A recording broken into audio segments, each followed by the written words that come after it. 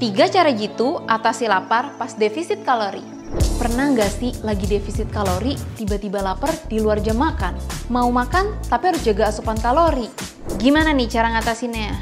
Pertama, konsumsi protein yang cukup. Biar nggak lapar terus pas defisit kalori, kamu harus konsumsi protein yang cukup. Soalnya protein bisa nurunin hormon grelin alias hormon lapar yang akhirnya bikin kamu kenyang lebih lama.